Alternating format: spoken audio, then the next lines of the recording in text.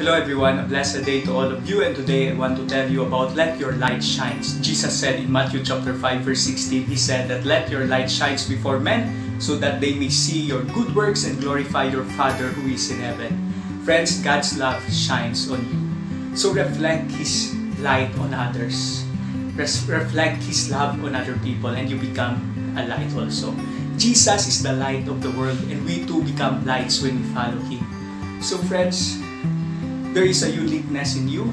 There is uh, you. God created you as a masterpiece, and God bless you so that you can be a blessing to others. So right now, be a blessing to others. Do small things, do great things with great love. So love God, love people, and uh, lead others to the light of God in you.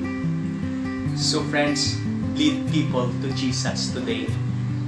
And right now, if you don't have a relationship with the Lord Jesus Christ, I invite you to receive Christ as your Lord and Savior so that you can have eternal life. If you die here on earth, are you sure that you are going to heaven when you die?